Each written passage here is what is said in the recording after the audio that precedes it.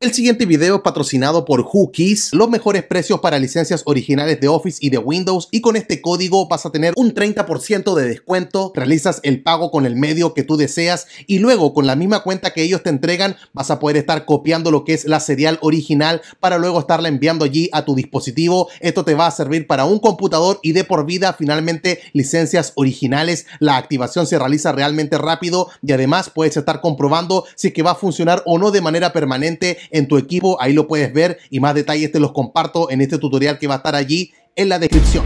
Hola, hola, ¿qué tal? ¿Cómo estás? Espero que muy bien. Acá el profe Juan Antonio desde Arica, Chile. Te doy las gracias por estar en este video y la bienvenida al noticiero del profe tu noticiero del jailbreak. Ya sabes que todas las semanas estoy en vivo en este canal los sábados respondiendo todas tus preguntas referente al jailbreak, así que atento a los horarios que están acá en pantalla para que nos encontremos en vivo en este canal. Vamos a partir hablando de la liberación que realizó Apple el día de ayer de iOS 15.4.1 tal como lo reportaron ellos en su página web, trae algunas mejoras para la batería y para el Bluetooth, pero obviamente lo que a nosotros nos importa es el contenido de seguridad, es ver qué cosas Apple estuvo parcheando que a futuro podrían estarnos permitiendo realizar algún jailbreak en alguna versión inferior a 15.4.1 y cuando vemos el contenido de seguridad es, es así de breve. Solamente hay una vulnerabilidad que ha sido tapada y es esta que está viendo en pantalla. No es al kernel, sino que es en el Apple AVD y dice que se puede estar construyendo una aplicación que puede ejecutar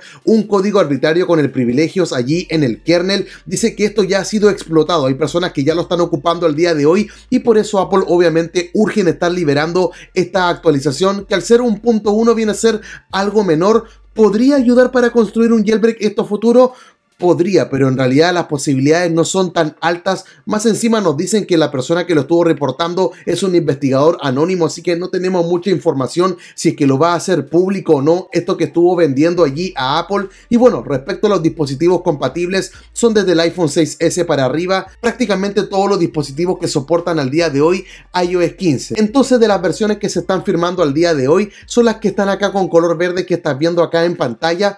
¿Conviene estar subiendo esta versión? Yo diría que no. El consejo de esperar siempre la versión más baja es algo viejo y sabido que es el más efectivo a estar siguiendo, así que no se aconseja estar instalando esa versión. Ahora, los únicos que podrían quizás estarlo haciendo, si es que al día de hoy tú ya te encuentras en 15.4 y estás teniendo algún problema allí con tu dispositivo Bluetooth o con la batería de tu dispositivo, en ese caso sí sería aconsejable estarlo instalando, pero si sientes que aún los problemas no son mejorados, puedes volver a 15.4 y seguir aguardando allí nada más. Ahora, ojo, esto solamente para los que se encuentran en 15.4. Si tú te encuentras en alguna versión inferior, ni loco estés instalando 15.4.1. Porque sabemos que a futuro de igual manera lo puedes estar realizando con la herramienta de Future Restore ocupando tus SHSH. Y por último, si no quieres ocupar esta herramienta, 15.4.1 también a futuro también se va a poder estar instalando con todo lo que es el perfil que retrasa las actualizaciones. Así que no hay prisa de subir a esta última versión de iOS. Pero si por algún motivo quieres estar subiendo?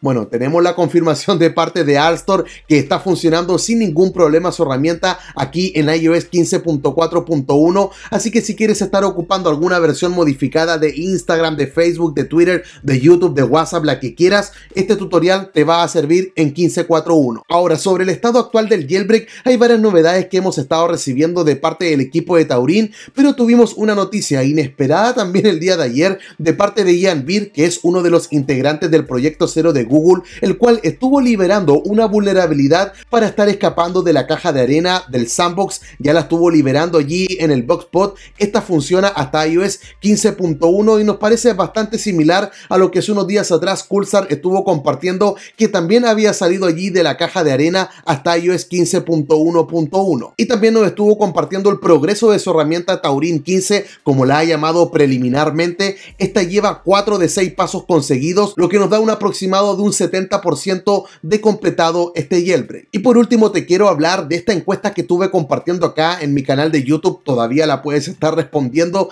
y quiero dar consejos respecto a cada una de las versiones de iOS que estás viendo acá en pantalla. Ahora, ¿qué pasa si estás en la primera opción, la de iOS 14? Bueno, puedes estar subiendo hasta iOS 15.1 si es que guardaste los SHSH utilizando la herramienta de Future Restore, pero esto se recomienda al día de hoy solamente si es que tu dispositivo tiene el Touch ID Si es que tú estás en iOS 14 y quieres subir a iOS 15, tu dispositivo va a quedar desactivado el Face ID, así que ni loco lo estés realizando, a menos que estés dispuesto a estar sacrificando esto, te va a servir el código, pero el Face ID no va a haber forma por la cual lo puedas recuperar en iOS 15.1 o en alguna versión inferior de iOS 15. Ahora, si no quieres perder el Face ID, puedes estar también subiendo con el perfil que retrasa las actualizaciones, pero tendría que estar yendo hasta iOS 15.2, que es una versión que no sería con este jailbreak que se está esperando el primero en iOS 15, pero al menos podrías estar subiendo. Y esto también aplica para los dispositivos que tienen Touch ID en iOS 14. Ahora, si te quieres quedar en iOS 14, también puedes instalar este perfil y estar bloqueando las actualizaciones y seguir aguardando allí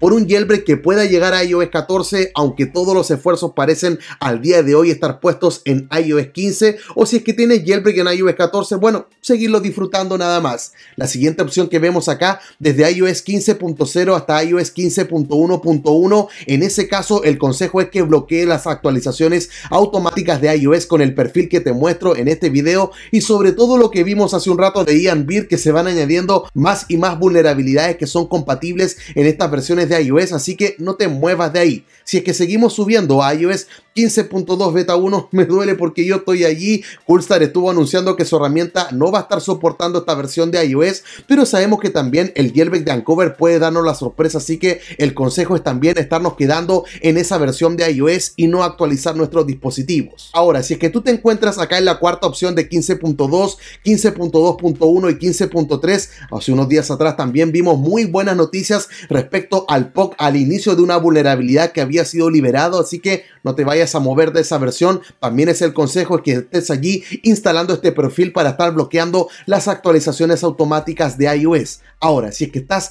en la última opción, 15.3.1 o 15.4, se dijo en todos los idiomas que estuviesen bajando a 15.3 RC, Apple ya dejó de firmar esta versión, provocando lo que yo llamé el otro día en un directo un triple kill. Ya no puedes bajar esa versión, ya no puedes guardar esos SHSH y tampoco puedes subir desde iOS 14 con Future Store ocupando la SEP de 15.3. Así que el consejo es que si estás allí, simplemente instales el perfil y te quedes allí y ya no actualices más tu dispositivo. Y que respecto a la última versión de 15.4.1, lo único que hay que hacer con esto es estar guardando obviamente los SHSH y nadie la tiene que estar instalando. Y qué es lo que va a ser el futuro del jailbreak durante estas semanas fue parte de la conversación que tuvimos junto con Rubén en el podcast que se liberó el fin de semana pasado. Y cualquier cosa que ocurra cuando ya esté la herramienta, el tutorial o cualquier otra noticia, tú ya sabes que te la voy a estar compartiendo en este canal porque subo contenido relacionado con el jailbreak todas las semanas. Así que sería todo eso por esta ocasión